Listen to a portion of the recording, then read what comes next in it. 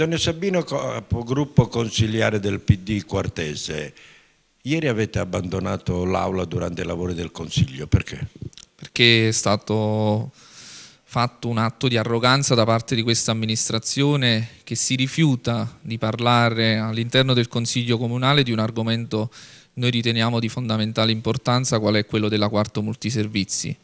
Noi veniamo da una serie di dichiarazioni, da una serie di atti amministrativi che sembrerebbero presupporre la dismissione della municipalizzata. Siete fortemente contrari perché eh, riteniamo eh, che eh, attraverso era stata mh, anticipatamente fatta una ipotesi di transazione per cercare di eh, recuperare eh, i debiti della quarto multiservizi e ehm, si trovava in uno stato di avanzamento questa eventuale transazione. L'amministrazione comunale eh, ritiene invece di dover fare dei passi ulteriori, cioè quello di provocare direttamente, di provvedere direttamente a una dismissione senza nemmeno eh, stabilire qual è l'alternativa che vuole porre a sostegno diciamo, per, per, la raccolta dei rifiuti su quarto. Oltretutto eh, provvede nell'approvazione del bilancio di previsione a eh, stanziare dei fondi necessari per la raccolta differenziata,